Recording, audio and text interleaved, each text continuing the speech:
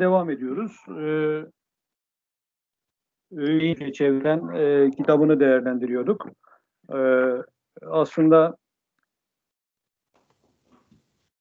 The Tale bir e, nörobilimcinin e, Hocam kitap bizi görüntüsü insan yok. yapanın Benim, benim görüntüm var ekranda. kitap ha, kitap görüntüsünü daha şey yapmadım, ekrana vermedim.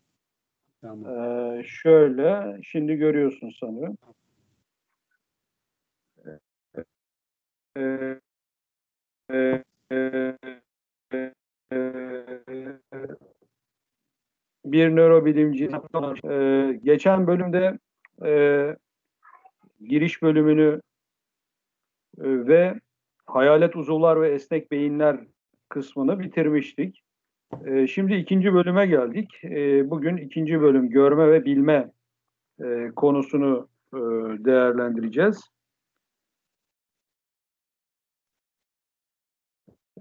Ee, bir e, görüyorsun ama gözlemlemiyorsun.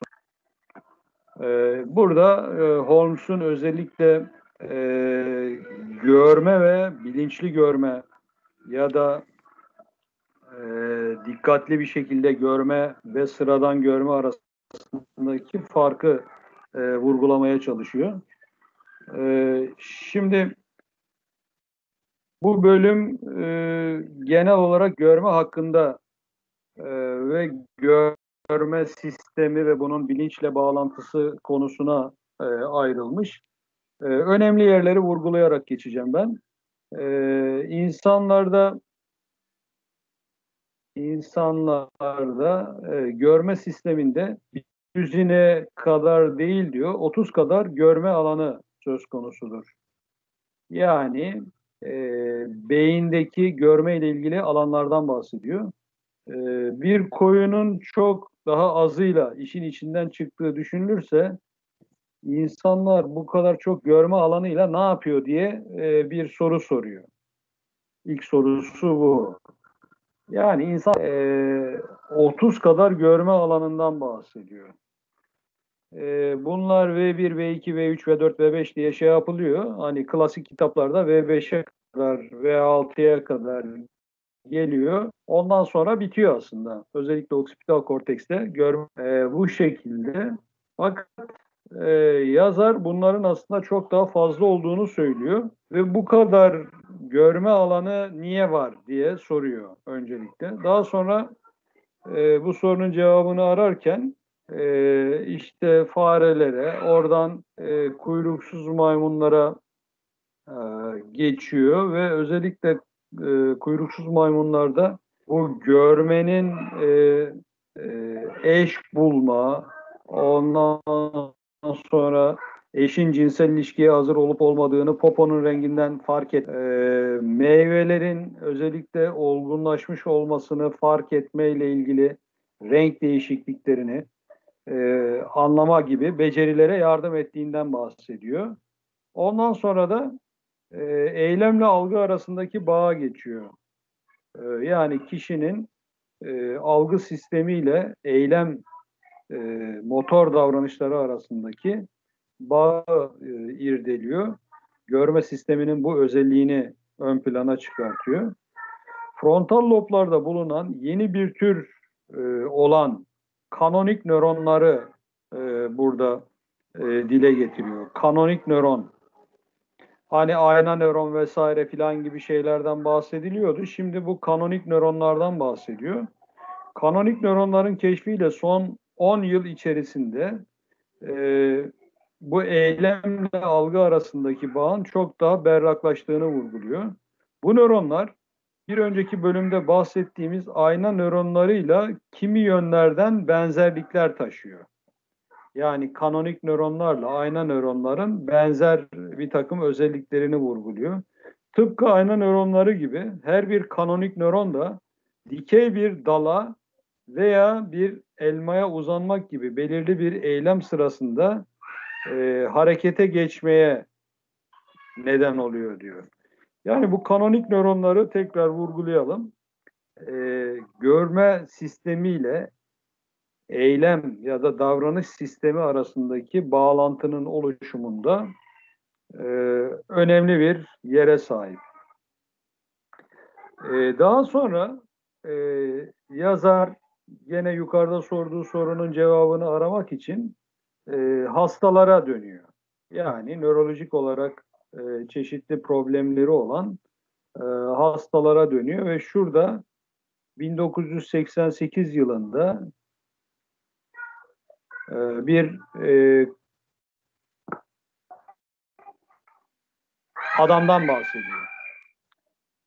E, bu adamın işte e, İkinci Dünya Savaşı'nda bir e, savaş pilotu olduğunu vesaire filan söylüyor.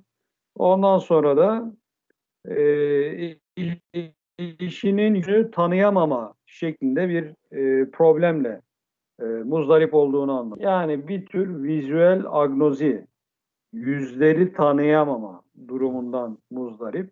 Sesi tanıyor, yani sesin kime ait olduğunu biliyor. E, ama yüzleri aynada kendi yüzü de dahil olmak üzere e, herhangi bir yüzü tanıyamıyor. Bunun ben olduğumun farkındayım diyor. Gözümü kırpınca aynadaki de göz kırpıyor. Ben hareket ettiğimde o da ediyor. Bunun ayna olduğu ortada ama karşımdaki bana benzemiyor diyor. Yani kişinin görme sistemiyle bilmesi arasındaki bağdan bağın koptuğunu anlatmaya çalışıyor. Sonra hasta devam ediyor. Görmemde bir sorun yok doktor diyor. Nesneler gözlerimin değil, zihnimin odağı dışında kalıyor diye kendi durumunu e, özetliyor.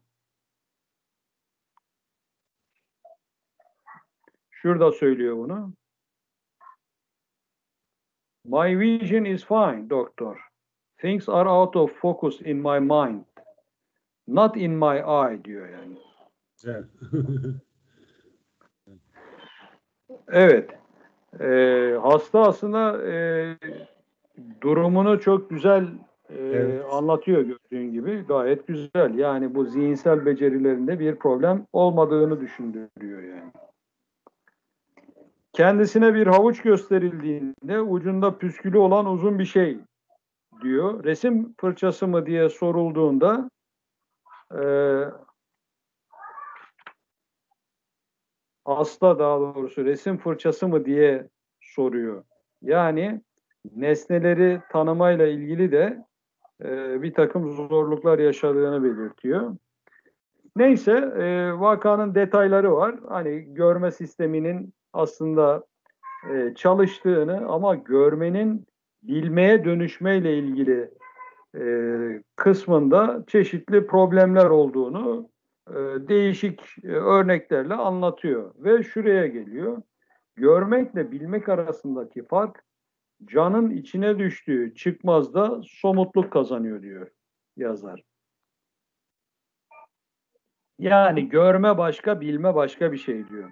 Dünyamızın resmi her ne kadar kolay anlaşılır ve bir bütünlük içerisinde gibi görünse de aslında beyin korteksimizdeki her biri birden fazla ayrıntılı işleve aracılık eden 30 belki de daha fazla farklı görme alanının etkinliğinden meydana gelir. Yani bizim e, dünyayı bilmemiz, değerlendirmemiz gördüklerimizi analiz eden bu 30 tane görsel alanla bağlantılı olarak gerçekleşir diyor. Görme alanlarımızdan tam olarak kaçının insanlara özgü olduğu e, bilinmemektedir. Yani kuyruksuz maymunlarda da bizimki gibi e, görme alanlarından bahsediliyor ama kaç tanesi insana özgü bu tam olarak netleşmiş değil. Sonra başka bir e, konuya geçiyor e, bunu desteklemek için. Birkaç yıl önce çalıştığım yere yakın olan Kaliforniya'da e, bir e, David Attenborough diye bir adam var. Bu BBC'de de belgeseller yapıyor. Hiç denk geldin mi bilmiyorum. Şimdi Netflix'te de güzel belgeselleri var. 90 küsür yaşında bir adam ama adam hala belgesel yapıyor. Ee, Onunla onunla yaşadığı bir şeyi anlatıyor. Onun e, yaratılış araştırmaları enstitüsünde verdiği konferanstan hareketle e, orada otizmle ilgili e, sinesteziyle ilgili e, bir sohbete girişiyor ve şöyle bir e, şey söylüyor. Kişiye sandalyeyi betimleyen yazılı bir not versem sembolik betimlemeler krallığına adım alıyor. E, bu otistik vakalarla ilgili e, böyle bir şey söylüyor. E, ve onların bir tür kendi e, alfabelerinden bahsediyor. Sonra e, sonra bu görme ile ilgili illüzyonlara geçiyor. Meşhur şu Ames odası diye bir e, illüzyon var. Onu göstereyim sana. Şurada da e, şur, şurada da şu e, ana hatları çizilmiş bir küp iskeleti var gördüğün gibi. e, bu çizimi sizin üzerinize veya altınıza olmak üzere iki farklı şekilde görebilirsiniz. Yani bakış açınıza e, göre değişen bir şekilde e, cisim şu küp e, senin üzerinde ya da senin altındaymış gibi değerlendirilebilir. Şimdi bu Ames odası şu hocam. Evet, Ee, bu fot- Ames odasını hocam. Hı hı. Evet, bu fotoğraf üzerinde e, bir oynama yok diyor şey e, yazar. Sıradan bir fotoğraf makinesiyle Ames odasını e, ortaya çıkartacak özel bir bakış açısından çekildi. Bu göz yanılsamasının eğlenceli yanı odanın zıt yönlerine doğru yürüyen bu iki insan gördüğünüzde belirginleşiyor. Birbirinin sadece birkaç adım uzakta olmalarına rağmen biri dev gibi büyümüş, başı tavana çarparken diğeri ise bir masal perisi kadar ufalmış gibi görünüyor. Aslında bunlar hemen hemen aynı boyutta e, kişiler. Bunun videoları da var internette. Hiç seyrettin mi bilmiyorum. Evet evet seyrettim bunu biliyorum hocam. Hı hı. Çok güzel bir buluş. bu. Hı hı. Evet, Ames odası. Bu bize neyi gösteriyor? Hani gördüğümüz şey de gördüğümüz şey değildir yani. Evet. Ee, e, o nedenle de aslında bu oda yamuk, ikizkenar, trapezoid bir oda. Evet. Ee, ama ama biz onu düzeltiyoruz zihnimizde. Yani Evet. bu düzeltmeye bağlı olarak da e, sonuçta böyle acayip bir şey ortaya çıkıyor yani. Evet. Hani o bir odayı yamuk gibi e, zihnimiz kabul etmiyor yani. Çok doğru. Onu, evet. mut- onu mutlaka düzgün bir odaymış gibi değerlendiriyoruz. Dolayısıyla gözümüzden aslında yamuk olduğuna dair bir data gelse de e, muhtemelen bu ön loblar, e, prefrontal lob filan o şeyi düzeltiyor kendince. Evet. Dü- Düzeltince de böyle bir gariplik ortaya çıkıyor yani. Evet. Zihnimiz düzeltiyor ve bunu evet güzel. Böyle bir yanılsama ortaya çıkıyor Evet yani. çok güzel bu şey hakikaten. Hı hı. Ee, sonra gözle ilgili renk reseptörlerine geçiyor hocam. Ee, burada da e, şeylerden bahsediyor. Üç tip renge duyarlı e, reseptörümüz var diyor. Bu üç tip renge duyarlı reseptör olmasına rağmen milyonlarca rengi e, gördüğümüzü anlatıyor. E, bu üç tip reseptörler Şimdi aklıma Evet. geldi hocam. NTV'de yayınlandı bunların şeyleri, belgeselleri. Aynı programdan mı bahsediyoruz onu bilmiyorum da. Ee, ben onları hatta öğrencilere gösteriyorum. Ben e, dosyaların isimlerini sana yollayayım. Belki şey biliyorsundur. Bilmiyorsan da görmüş olursun şey. Ee, ya NTV, ha BBC'nin olabilir. BBC'nin belgesellerinde. evet BBC'nin çok kaliteli güzel belgeselleri var hocam. Ee, şey ben onları bir size yollayayım hocam. Ha, ha sana yollayayım onları. Tamam. Ee, şimdi bu nasıl oluyor? Gözde kırmızı, yeşil ve mavi olmak üzere üç tane şey var. Ee, koni hücresi var. Renk reseptörü yani. Ee, bu üç tane renk nasıl milyonlarca renge dönüşüyor? Ee, bunu biraz anlatıyor. Ee, her renk aslında kırmızı, yeşil ve mavi reseptörleri farklı oranlarda e, uyararak e, beynin daha gelişmiş mekanizmaların e, her bir oranı farklı bir renk olarak yorumlar diyor. Aslında hani sonuçta beyne diyelim ki bir turuncu e, nesneye baktığımızda bu ne kırmızıdır, ne yeşildir, ne mavidir aslında. Ama biz turuncu diye bir renk görürüz. Bu rengi nasıl görürüz? E, bu reseptörlerin beyni çeşitli oranlarda uyarmasıyla alakalı. Turuncu dediğimizde büyük oranda kırmızı e, hücrelerin uyarılması, bir miktar yeşil ve bir miktar mavinin uyarılmasıyla ortaya çıkan bir şeydir aslında beyin. Fakat zihin bu uyarılmaları turuncu olarak değerlendiriyor. Yani orada bir değerlendirme işin içine giriyor. Ee, yani rengi görmek yetmiyor. O rengi mutlaka bir değerlendirme, zihinsel değerlendirme sürecinden de geçirmek gerekiyor ki ondan sonra biz onu turuncu olarak isimlendiriliyor, isimlendirebiliyoruz.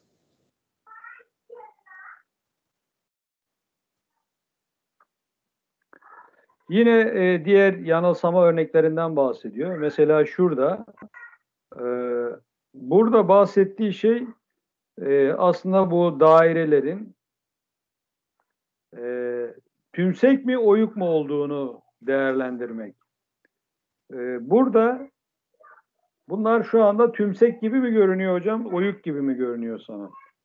Bana tümsek gibi görünüyor. tümsek gibi görünüyor. Bana da öyle görünüyor. Ama hani Işığın tümsek anda- gördüğün halde bunu e, oyuk gibi de bakabilirim ve görebilirim de aynı zamanda ama hani de sorduğun üzere hani ben tümsek gibi algıladım öncelikle. Yüksek gibi görülüyor. Işığın hangi yönden, sağdan mı yoksa soldan mı geldiğine dair verdiğiniz karara göre tercihinizi değiştirebilirsiniz. Her zaman hep beraber yön değiştirirler Evet. diyor. Yani burada ışık soldan geliyor gibi görünüyor değil mi? Evet. Işık soldan geliyor gibi görünüyor. Sağdan geldiğinde ışık farklı bir değerlendirme söz konusu olabilir diyor. Evet. Mesela şuna bakalım şimdi. Şurada ne? Hmm, Tümsek çok- mi oyuk mu? Evet. Şimdi- Değişiyor sanki değil mi? Göl, Evet. gölgelendirilmiş. Çünkü bak bazılarında şu taraflar aydınlık, Evet. sağ taraflar yani. Üst sıra.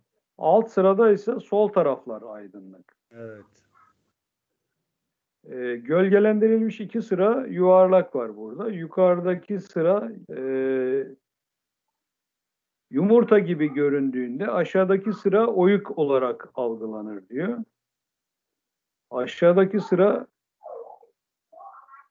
yumurta gibi algılanırsa yukarıdaki sıra oyuk gibi algılanır diyor. Tam tersi. Bunların hepsini aynı görmek mümkün değildir diyor. Ee, yani hepsini oyuk ya da tümsek gibi görmek e, mümkün değildir diyor. Algı süreciyle bütünleşmiş tek ışık kaynağı kabulünü örneklendirir. Altta bir örnek daha var hocam. Burada Ee, burada şunları daha açık bir şekilde oyuk olarak fark ediyoruz. Değil mi? Evet. Ben öyle görüyorum en azından. Evet. Şunlar şunlar daha tümsek gibi görünüyor. Evet. Ee, aydınlık taraf üstte yuvarlakların yarısı yani ışığı üstten alanlar ışığı üstten alanlar yumurta gibi diğer yarısı ise oyuk biçiminde görünür. Bu yanılsama görme sistemin otomatik olarak ışığın yukarıdan geldiğini farz ettiğini gösterir. Bu da ilginç mesela. Hani e, biz sonuçta yeryüzünde yaşayan e, canlılarız ve güneş, ay her zaman üsttedir yani. Hı hı. E, dolay hatta lambaları bile tavana yaparız yani. E, bununla bağlantılı olarak belki de.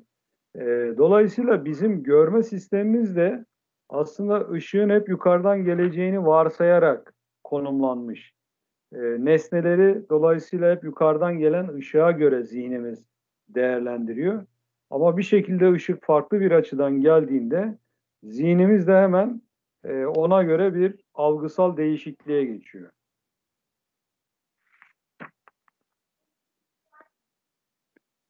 Sonra görme sisteminin ne kadar karmaşık bir şey olduğunu anlatmak için şu şekli e, alıntılıyor. Bu şekil aslında e, bilişsel psikoloji e, yazarlarından e, Kosli'nin çalışmasından elde edilen bir e, şey bu. E, orada da var daha doğrusu. E, şimdi bu insanları da kapsayan primatlarda genel olarak oksipital lobların kısmen temporal ve faryetal lobların e, bu görmeyle bağlantılı olduğunu vurguluyor. Bunlardan daha önce e, bahsettiğimiz için buraları hızlı geçiyorum. E, sonuçta sonuçta gözlerden başlayıp e, ondan sonra e, retina, optik sinir, e, talamus, sonra e, oksipital korteks, temporal parietal korteks ve en sonunda da frontal kortekse giden e, ve bu arada bir sürü e, ara istasyon ve çekirdeğin olduğu karmaşık bir sistemden bahsediyor aslında. Hipokampusla filan da bağlantısı olan e, karmaşık bir sistem yani. E, bu karmaşık sistem bizim görmemizi, gördüklerimize anlam vermemizi, gördüğümüz nesnelerin rengini, bize göre konumunu, e, ondan sonra hızını e, ayarlamamızı ya da anlamamızı sağlayan e, bir durum. Şu şekli hatırlıyor musun hocam? Evet evet bunu görmüştüm. E, bu Dalmaçyalı şekli. Bu Evet. e, Ramachandra'nın Beyindeki Hayaletler kitabında da vardı bu. E, bu şekil. Aslında ilk başta Dalmaçyalı'dan haberi olmayan biri, Dalmaçyalı'nın nasıl bir köpek olduğunu bilmeyen biri, e, sittin sene uğraşsa buradaki köpeği bulamaz. Fakat Dalmaçyalı'nın siyah beyaz bir köpek olduğu, köpeklerin burnunun yerde olduğu filan gibi e, bir bilgi sistemin söz konusuysa e, o zaman bu köpeği e, bu noktalar arasından oluşturman daha kolay olabiliyor. Bu da yukarıdan aşağıya e, bir sistemin çalıştığını gösteriyor. Yani beyninde e, görmeyle ilgili, nesnelerle ilgili bir bilginin olması e, nesneleri tanımaya da kolaylaştıran bir şey. O zaman iki yönlü bir e, bilgi akışından bahsediliyor e, görme sisteminde. Bir tanesi aşağıdan yukarıya yani gözlerden beyne doğru. Diğeri de beyinden dış dünyaya doğru giden e, yani daha evvel öğrendiklerimizin gördüğümüz şeyi algıladığımız şeyi etkilemesi durumu söz konusu oluyor. İşte şu şekilde bunu gösteriyor. Dalmaçyalı'yı bir de bir kez gördükten sonra bir daha bunu görememezlik yapamıyorsun hocam. Bir de böyle bir sıkıntı var. Evet. Ee, hani diyelim bu Dalmaçyalı'yı gördün bir defa. Aa tamam dedin köpek burada. Hadi şimdi bunu siyah beyaz bir resim olarak nokta olarak gör bakalım dediğinde e, mümkün değil artık o eski şeyi göremiyorsun. Çünkü zihnin artık buradaki köpeği e, algılamış oluyor ve bir daha da e, bundan vazgeçemiyor. Yine böyle basit geometrik şekiller aslında bizim zihnimiz tarafından bir şeye benzetilir. Mesela e, bu durum şu bir yuvarlak, ortasında böyle bir şey ve e, iki tane çıkıntı. Bu domuzun poposunun arkadan görünmesi olarak zihnimiz tarafından pekala algılanabiliyor. Domuz poposu. Evet. Ee, şuraya baktığımızda ise bunun e, ağaca tırmanan bir ayı olduğunu, aslında normalde iki tane çizgi, bu çizgilerin de e, etrafında dört tane böyle şey, sanki ağacın e, üzerinde ya da bu çizgilerin üzerinde bir şeymiş gibi görüyoruz. Ama bunu işte bu bir ağaca tırmanan ayı bizde e, arkadan bakıyoruz e, dediğinde artık bunu zihnin e, o şekliyle kabulleniyor. Yani gördüğün şeyle zihninin kabullendiği şey arasındaki farkı e, bu örneklerle ortaya koymaya çalışıyor. E, yine benzer bir şey e, bu şekillerde var. Bizim yüzü algılamamız hep gözlerin belli bir mesafeyle konumlanması, ondan sonra ikisinin arasında belli bir mesafenin olması, ağızla göz arasında belli bir uzaklığın olması, arada bir burun e, gibi bir şey. Aslında baktığın zaman bunun bir insan yüzü olmadığını çok rahat söyleyebilirsin. Bir e, çember, ortasında iki tane daire, e, bir tane yatay, bir tane de eğik çizgi aslında bu. Fakat zihnimiz bunu hemen bir insan yüzüyle özdeşleştiriyor. Aynı parçaları şurada kullandığında, bak parçalar aynı, fakat algı aynı şekilde oluşmuyor. Yani birbirlerine göre konumları da e, bu şeklin önemli oluyor bir yüz algısının ortaya çıkması için. Nöronların bir nesnenin anlamını nasıl kodladığı ve onun e, tüm semantik çağrışımlarını nasıl uyandırdığı soruları nörobilimin kutsal kasesi olarak gizemini koruyor diyor. Yani aslında e, şey kolay. Hani bu şekilden e, ışıkların göze, oradan beyne gitmesi, beyinde belli yerleri uyarması anlaşılır bir şey. Bu çok kolay diyor yani. Ama zor olan nasıl oluyor da bu şekli biz sonra yüz gibi algılıyoruz? Hatta bu yüzü annemizin yüzü gibi ya da babamızın yüzü gibi nasıl algılıyoruz? Ee, dolayısıyla hani e, kutsal kase dediği şey bu yani.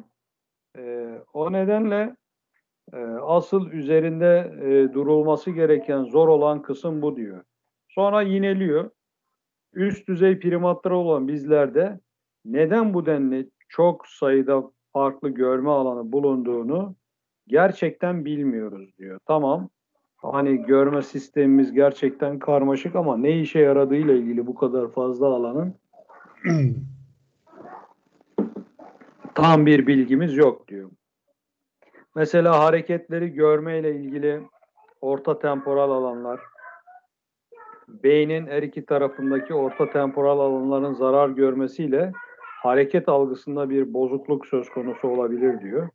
Bu insanlar gazete okuyabilir, nesnelerle e, insanları tanıyabilir ancak hareketli görüntüleri görmekte büyük zorluk yaşayabilir. Örneğin bardağa suyu doldurduğunda suyun yükseldiğini fark etmez ve doldurmaya sürekli devam edebilir diyor bu hastalar. Ve bardağı taşırabilir mesela. Transkranyal manyetik uyarım denilen bir araçla e, bu orta temporal bölge kısa devre yaptırılıp aslında geçici beyin lezyonu oluşturulabilir diyor. Yani sağlıklı insanlarda da bu deneyi yapmak mümkün. Biliyorsunuz bu TMS aslında uyarım tedavisi olarak ya da uyarım sistemi olarak e, biliniyor ama TMS'de uyarımın frekansı beyinde uyarı mı yoksa inhibisyon mu yapacağını da belirliyor. Düşük frekanslar yani yaklaşık 1 Hz'lik frekanslar e, beyinde nereye uygulanıyorsa orada bir e, inhibisyona yol açarken yüksek frekanslar aslında bir nöronal stimülasyona yol açıyor. İşte bu düşük frekanslar orta temporal e, bölgelere fokusladığınız zaman tıpkı orta temporal bölgede bir lezyon varmış gibi bir durum ortaya çıkabilir. Ve bu kişiler hareketleri e, o e, TMS'nin etkisi altındayken e, algılayamaz duruma gelebilir. Bu deneyler bize şunu gösteriyor. Beynin bazı bölgeleri görme ile ilgili spesifik fonksiyonlardan sorumlu gibi görünüyor. Yani işte bu orta temporal bölgelerin daha çok e, hareketle ilgili olması gibi yani. Görsel bilgilerin beyin korteksine ulaştığı bu iki yolağı ele alalım. Bu iki yolak dediği e, birisi dorsal yolak, bir tanesi de temporal yolak. Eski yolak olarak adlandırılan kısım retinadan başlar. Orta beyindeki eski zamanlardan kalma bir yapı olan superior colliculus'tan geçer ve talamusun pulvinarı aracılığıyla parietal loba yansır. Bu eski yolak dorsal yolak olarak da biliniyor. Bu yolak görmenin mekansal şurada veriyor şekli hocam. Şu yolak, dorsal yolak yani. Ee, mekansal kısmıyla ilgili. How dediği yani nasıl oluşuyor kısmıyla evet. alakalı. Ee, ikinci yolaksa oksipitalden temporale doğru e, gelen yolak. Bu da ne yolağı? Bu daha yeni bir yolak. Yani evrimsel açıdan bakıldığında şu daha eski, daha önceden var. Demek ki evrim sisteminde önce nasıl olduğunu anlamışız biz. Arkasından ne olduğuna bakmışız. Yani sanki bizim için nasıl olduğu, ne olduğundan daha önemliymiş gibi ilk başta. Sonra beyinde e, bu iki sistem birlikte çalışmaya başlıyor. Retinadan gelen görsel bilgiler beyne iki yolaktan ulaşır. Biri eski yolak ya da dorsal yolak, superior colliculus'tan geçip parietal lobda sonlanıyor. Diğeri ise yeni yolak, lateral genikülat çekirdeklerden geçerek görme korteksine gider ve oradan da nasıl ve ne kanallarına ayrılır.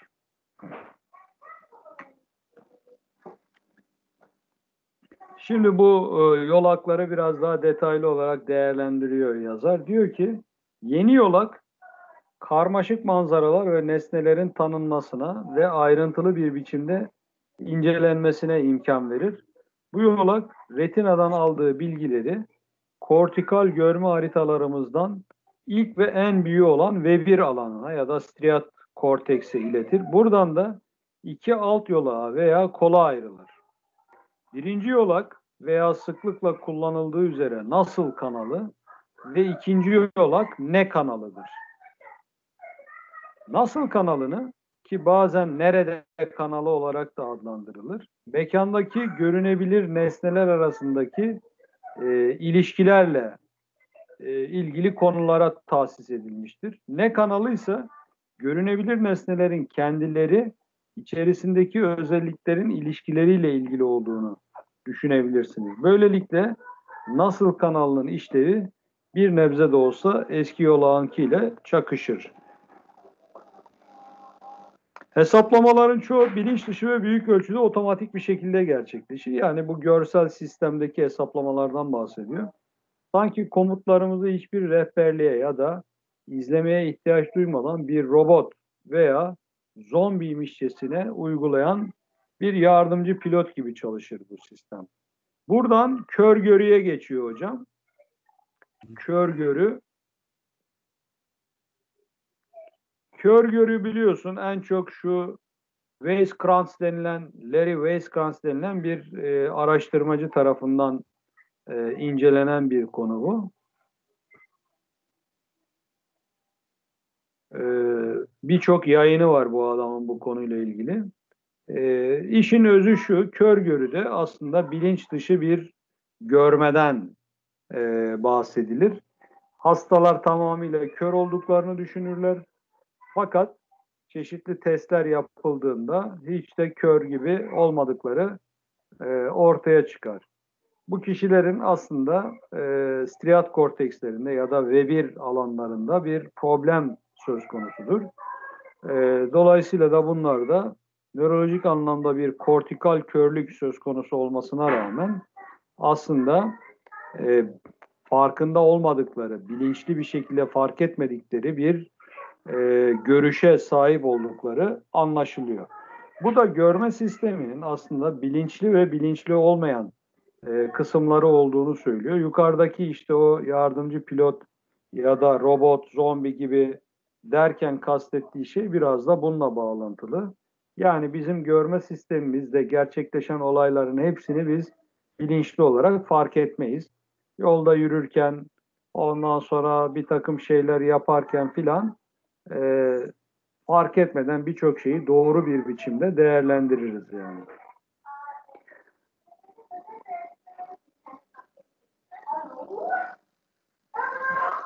Nesnelerin nerede olduğuna veya nereye, neye benzediğine dair hiçbir bilinçli görsel deneyim taşımamasına rağmen işaret parmağı söylenen hedefleri peş peşe gösteriyor mesela bu kortikal körlüğü olan hastalar. Ee, sonra bu bulguları, kör görüden elde edilen bulguları şöyle yorumluyor. Ee, beyindeki eski ve yeni yolaklar arasındaki anatomik bölünme e, söz konusudur diyor. E, ve birden geçen yeni yola hasar görmüş ama eski yola e, sağlam kalmıştır. Işık noktasının hastaya gösterilen ışık noktasının konumu hakkındaki bilgi sorunsuz bir biçimde parietal loblarına ulaşıyor ve böylece kişi e, gördüğü nesnelerin konumunu belirlemekte çok fazla zorlanmıyor. Ama gördüğünü bilmeyle ilgili durum yeni yolakla bağlantılı olduğu için yani işin bilinçli kısmı e, bu temporal bölgenin işin içine girmesiyle bağlantılı olduğu için kişi sahip olduğu görsel becerilerin de farkında olamıyor. Dolayısıyla hani bu görme sisteminin özellikle e, bu ventral yola ya da yeni yola e, bizim bilinçli görmemizde rol oynuyor gibi ama parietal yolak e, bilinçli bir şekilde çalışmıyor. Bilinçli farkındalık mevzusu oldukça önemli olduğundan onu yazar en son bölüme saklıyor. Yani kitabın e, bölümlerine baktığımız zaman 9. bölüm ruha sahip bir kuyruksuz maymun içe bakış nasıl evrildi e, başlığı altındaki son bölümde işte bu bilinçli farkındalığın nasıl e, evrildiğini e, anlamaya çalışıyor.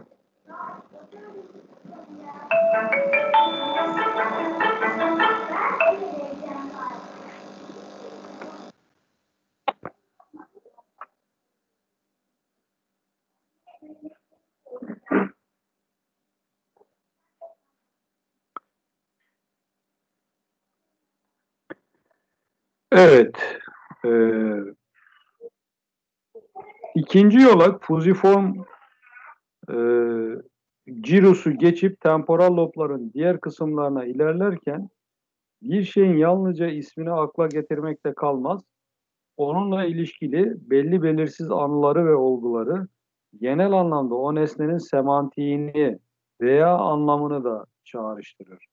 Hani bu ikinci yolak ya da yeni yolak ya da temporal yolak bilinçli görmeyle bağlantılı e, dedi ya. İşte bu e, temporal bölgedeki fuziform gyrus e, görmeyle ilgili bilginin ilk geldiği yer temporal bölgeye. Oradan temporal bölgenin derinliklerine doğru e, bu görsel bilgi, oksipital korteksten gelen bilgi ilerliyor. İşte bu ilerleme sırasında e, görmeyle ilgili e, çeşitli detaylar da e, değerlendirilmeye başlanıyor bilinçli olarak. İşte bu gördüğüm şey bir elmadır. Elma bizim köydeki elmalara benziyor. Kokusu şöyle. Annem de bana bir elma vermişti filan gibi. Pek çok detay e, bu temporal kortekste, temporal lobda doğru doğrusu görsel bilginin ilerlemesi sırasında ortaya çıkar diyor. Bu semantik geri kazanım işlemi temporal lobların geniş çapta etkinlik göstermesini gerektirir.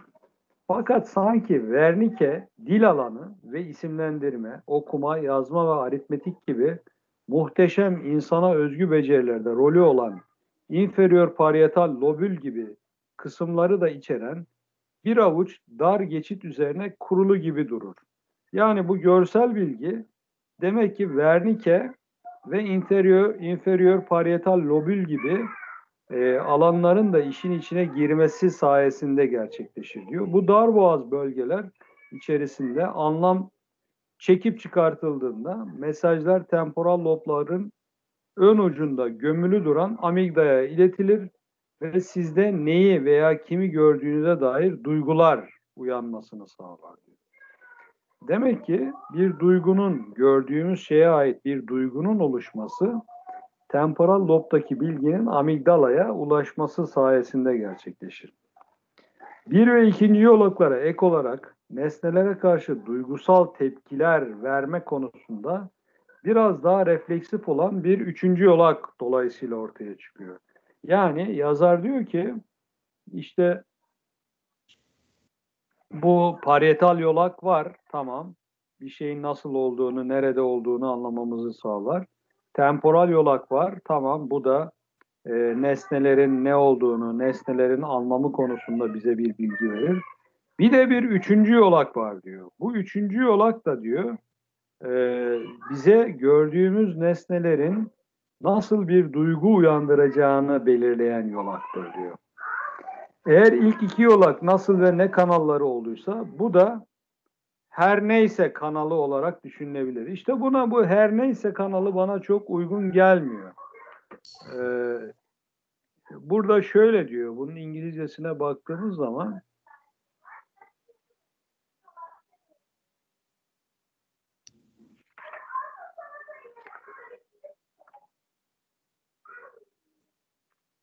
şu da sanırım bir dakika. Hı.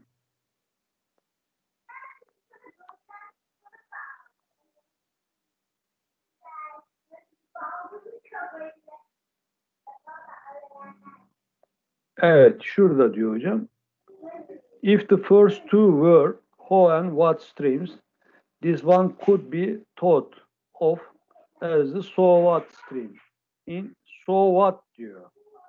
So what stream. Bu so what'ı her neyse diye çevirmiş. Evet. Ee, yani e, aslında yukarıda da belirtiyor. Ee, burada şurada diyor işte yani bak e, evoke feelings about what or whom you are seeing diyor ya. Evet. Ee, aslında bu üçüncü yolun fonksiyonu bu ama yazar buna so what stream, so what kanalı filan gibi bir isim veriyor. Bu isim e, bana çok oturmuyor gibi geliyor. Yani duygu e, kanalı ya da gördüğünü gördüğünü hissetme kanalı filan gibi bir şey dese daha doğru. So what stream dediği zaman e, her neyse kanalı dediği zaman tam olarak anlaşılmıyor gibi geliyor bana. Bilmiyorum sen Bence e, so what'a ne diyorsun yani? Ne olmuş yani anlamına gelen bir laf o esasında değil mi? Ee, Aha. Yani duygu var mı burada? So what'ta bir duygu var mı? Evet yani hani böyle adlandırması abes olmuş hakikaten so what.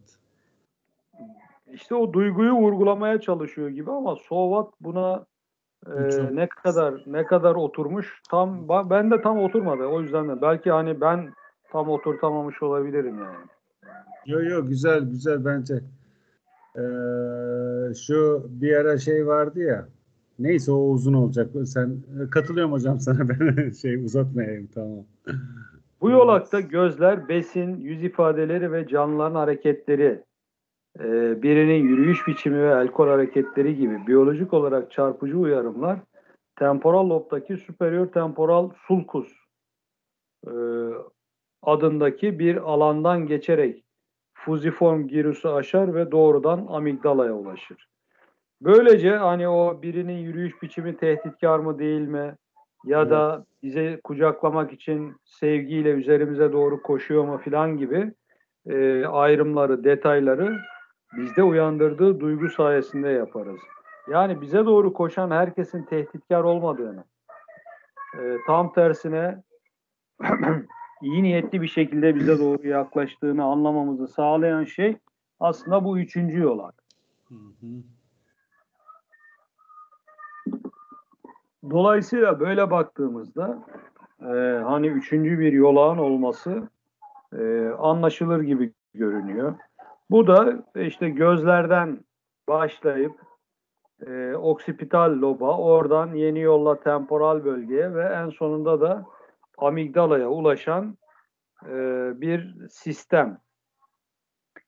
E, üçüncü yol fizyoloji ve beyin lezyonları ile ilgili çalışmalarda Mesela bu Capgras sendromu var. Biliyorsun orada da Capgras sendromunda yüz agnozisi ya da e, İngiliz şey nörolojik tabirle prozopagnozi Evet. e, denilen e, bir durumu anlamamıza e, neden oluyor. İşte bu prozopagnozi ya da Capgras sendromunda e, hastalarda bu üçüncü yolağın bozulduğuna dair e, bulgular söz konusu. Ondan daha sonra bahsedecek. E, bu Capgras'ı daha detaylı olarak göreceğiz yani. E, nörolojik temeli hemen hemen aydınlanmış gibi görünüyor yani. E, bu üçüncü yolak bir şeyin önemli mi değil mi, bizim için e, ne anlam ifade ediyor gibi e, hani e, değer atfetme ile ilgili e, bir hissin oluşmasında da önemli.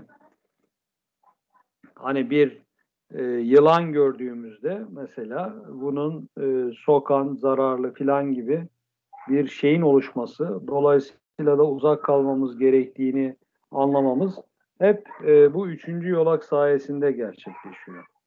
Amigdaladan gelen sinyaller yalnızca hormonlarımızı düzenlemekle kalmaz, aynı zamanda beslenme, kavga etme, kaçma, flört etme gibi e, eylemlerden uygun olanı e, seçmemizi sağlayacak olan otonom sinir sistemimizi de harekete geçiren, geçirmek üzere hipotalamusa da e, sinyaller gönderir.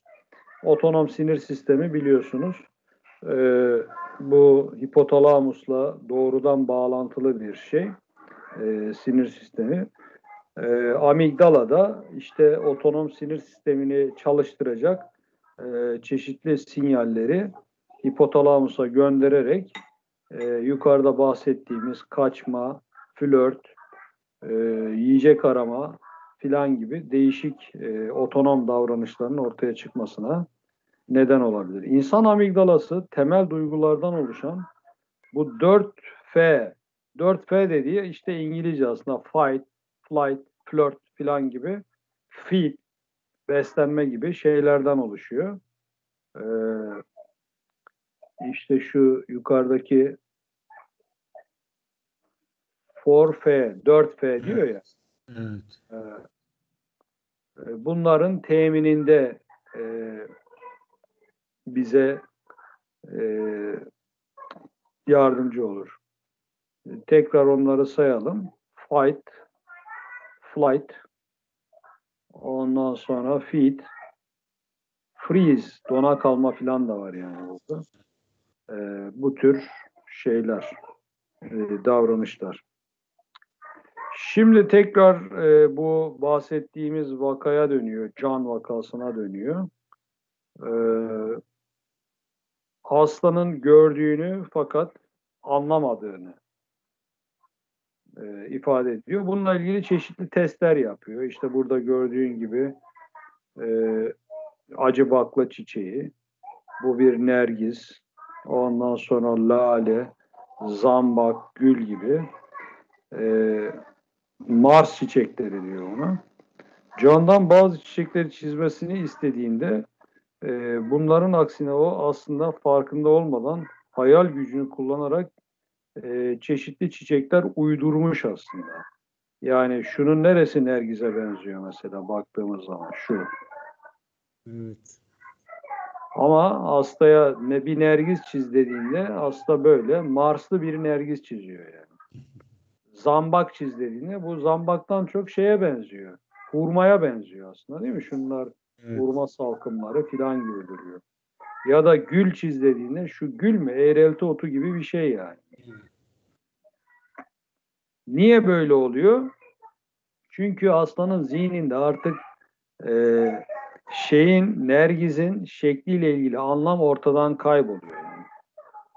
Çizim becerisi yerinde, çizebiliyor ama e, o anlam ortadan kalktığı için artık kişi e, belli bir e, şekli de çizemez duruma geliyor. Nesneleri veya suratları anımsamasıyla ilgili değil, bunlara verdiği duygusal tepkilerle ilgili sorunu var diyor yazar. İki hafta boyunca komada kalmasına sebep olacak bir e, araba kazası geçirmeden önce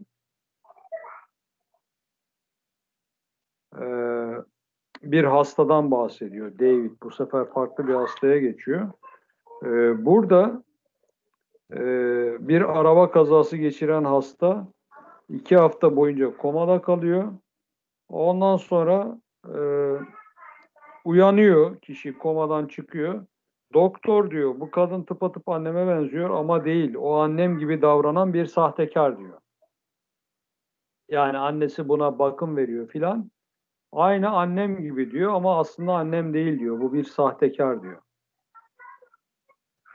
Yani annenin sesinden, tavırlarından filan onun annesi gibi olduğunu anlıyor. Fakat gerçek annesi e, olmadığını ve onun kılığına girmiş bir sahtekar olduğunu söylüyor.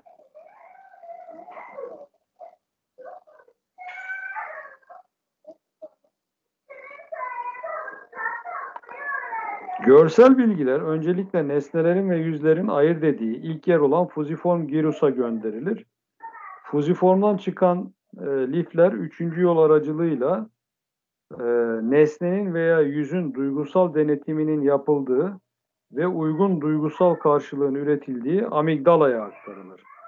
Üçüncü yoldaki lifler zarar görürse e, o zaman işte o duygu ortadan kalkacağı için e, kişi o duyguyu alamadığında nesneyi de inkar etme yoluna gidiyor. Yani bir insan annesini gördüğünde o sıcaklığı hisseder ya. İşte bu üçüncü yolda bir lezyon söz konusu olduğunda e, tanımayla ilgili ya da e, onu konumlandırmayla ilgili bir sıkıntı yaşamıyor. Duygu oluşmadığı için bu annemin yerine geçmiş bir sahtekar falan olabilir diye düşünüyor.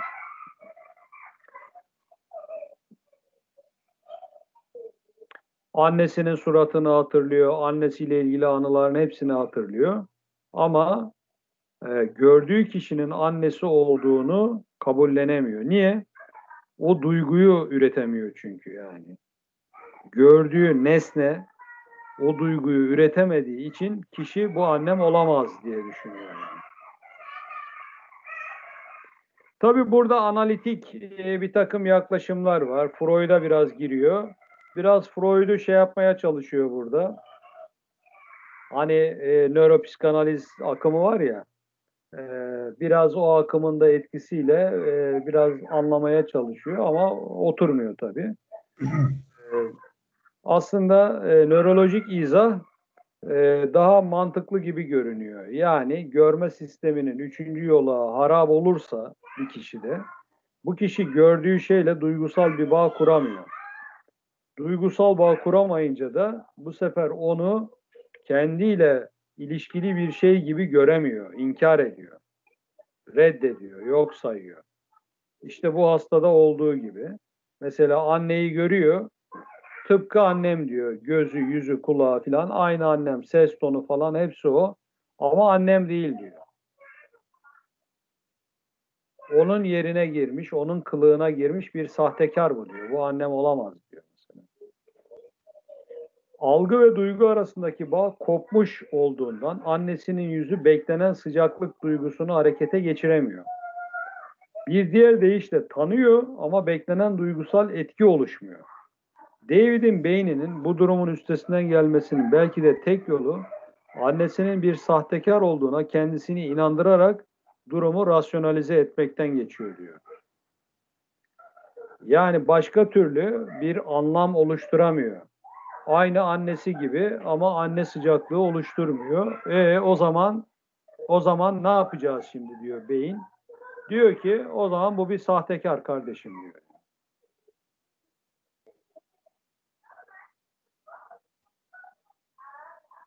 Zira beyin her türlü noksanlıktan nefret eder ve bunlardan kurtulmak için bazen en saçma hatta akıl almaz yanılgılara bile sığınır. Yeter ki noksanlık olmasın diyor. Beyin noksanlıklardan nefret eder. Fakat bu hastaların hani e, bu anneyi görüyor ama annem değil diyor ya. Evet. Bu hastalara annesinin e, annesini gösterdiğinde ya da başka bir kadın gösterdiğinde e, galvanik deri reaksiyonu nasıl oluyor diye bakılmış. Biliyorsunuz galvanik deri reaksiyonu kişinin e, aslında bir duygusal reaksiyon gösterdiğini ölçen e, bir esasa dayanıyor. Heyecanlandığımızda derimizde e, elektriksel iletkenlik artıyor. E, dolayısıyla da duygumuzun deriyle gösterilme biçimi, daha objektif biçimi. Yalan makinelerinde de biliyorsun e, böyle bir sistem var. Yalan makinesinde e, kişi yalan söylediğinde e, gerilmeye başlıyor. Gerilince de bu galvanik elektriksel akım artıyor. E, oradan da hareketle kişinin yalan söylediğini tahmin ediyorsun yani. E, şimdi bu hastalara da hani üçüncü yolu harap olmuş kişilere de e, annelerini gösterildiğinde galvanik akım nasıl oluyor diye bakıldığında e, görülmüş ki aslında e, galvanik e, akımda bir artış söz konusu oluyor. Yani kişi e, bu annem değil diyor ama e, zihni onun annesi olduğuna dair bir e, duygu yine de e, üretiyor yani.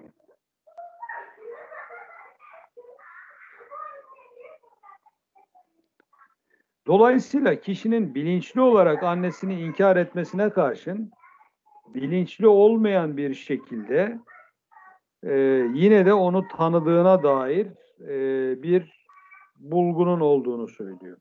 Toparlarsak hocam bu kapkras kuruntusu olan e, bir hasta, bir kişi e, işte bu sevdiğinin yerine başkasının geçtiğini e, düşünen bir e, vaka.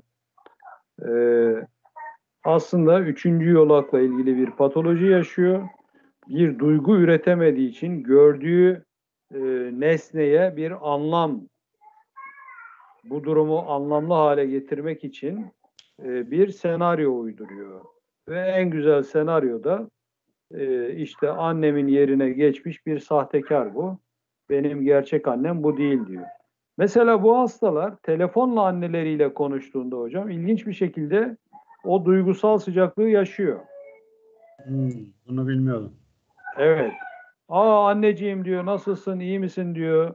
Ee, çok sevindim beni aradığın için, çok teşekkür ederim filan diyor mesela. İlginç. Ama gördüğü zamansa e, sen bir sahtekarsın diyor, annem nerede onu gönder bana diyor.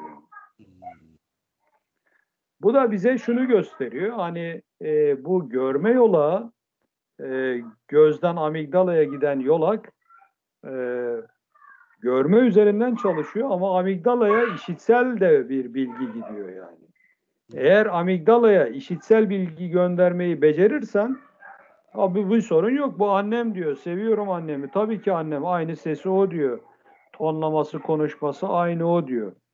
Fakat gördüğünde konuşursa annesi yani hem görsel hem işitsel uyaran verdiğinde yine kafa karışıyor. Çünkü görme sistemi çok dominant bir sistem bizde. Doğru. Evet. Güzel. Ee, o yüzden gördüklerimize daha fazla e, önem verme ya da inanma eğiliminde oluyoruz. Yani. Gözümüzün önünde yani kadın. Aynı annemin sesi. Vay be diyoruz. O annemin sesini de nasıl taklit ediyor böyle filan diyoruz yani. Yine onu sahtekarlığa yoruyoruz yani. Ama görme kanalını iptal et. Sadece telefonla e, onu konuştur. O duyguyu hemen hissediyor. Vay canım annem neredesin diyor falan filan diyor. Ee, onu açıkça yaşayabiliyor. Ee, evet hocam bu ikinci bölüm bu şekilde. Ee, son, sonra sinestezilere geçiyor. Üçüncü bölümde sinestezi konusunu değerlendiriyor. Ee, önümüzdeki hafta inşallah bu sinestezi konusuyla devam edeceğiz. Ee, şeyi burada bitiriyorum. Ee, bu ikinci bölümü. Ee, biraz böyle hızlı geçiyorum. Bazı yerleri e, tekrar etmemek adına. Ee, Güzel oldu. Güzel oldu. Güzel. evet. Bu algı sistemiyle ilgili hani bu görme bakma dediği işte anlamlandırma ile ilgili kısmı hocam. Hani e, bu Ames Room mesela hani ondan sonra onun benzeri şeyler e, algı sistemi hani daha birinci nörondan itibaren çıkarsama yapıyor. Evet, Yani- yukarıdan yukarıdan gelen e, enformasyonlar doğrultusunda değil mi? Evet evet. Ee, Yani hani o Ames Room'da hani evet böyle e, algılıyor diyoruz ama aslında hani şey ne e, duvarın düz ve dikdörtgen olacağı e, olması gerektiği şeklinde eğitildiği için hani birinci nörondan daha veri gelirken onu e, yine de olması gerektiği gibi algılattırıyor. Yani beyin dikte ediyor bir şekilde. E, Aha. daha önceden öğretilmiş gerçeklere göre algılamasını istiyor, zorluyor. O kısmı şey çok ilginç esasında. Evet, illüzyonistler de bu prensipten yararlanıyor aslında. Evet. Hani bi- bizi şaşırtan, hayrete düşündüren şeyler nasıl oluyor? Gördüğün şey aslında böyle olmaması lazım diyorsun. Zihnin Aynen. sana diyor ki bu gördüğün şey böyle olamaz diyor yani. Ama görüyorsun da bir taraftan yani gözünden de öyle şeyler geliyor, veriler geliyor. Yani zihninle gördüklerin arasında bir çelişki, bir uyuşmazlık söz konusu olduğunda bu e, bir şey oluşuyor. Heyecan verici bir e, eğlenceye dönüşüyor. Yani. Evet. Zihin müdahale ediyor, beyin ve hani şey bunu olduğu gibi algılamamıza izin vermiyor bir şekilde. Evet. Evet hocam teşekkür ediyorum. Ben teşekkür ederim hocam. Burada bitirelim. Tamam, teşekkürler.